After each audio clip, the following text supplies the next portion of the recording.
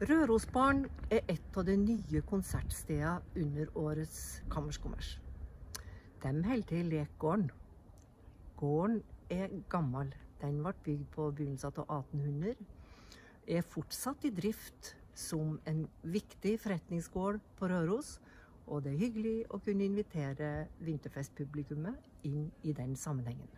Vi ble veldig positivt overraska da vi fikk spørsmål om å være konsertsted. Det var når vi stilte opp på tvert. Vi sa ja umiddelbart, fordi vi ønsker å være med og støtte opp under det som skjer på Røros. Det er jo en fordel for oss på sikt òg, går jeg ut ifra. Så det blir artig å få inn et ja, kanskje et annet publikum enn vi har til vanlig.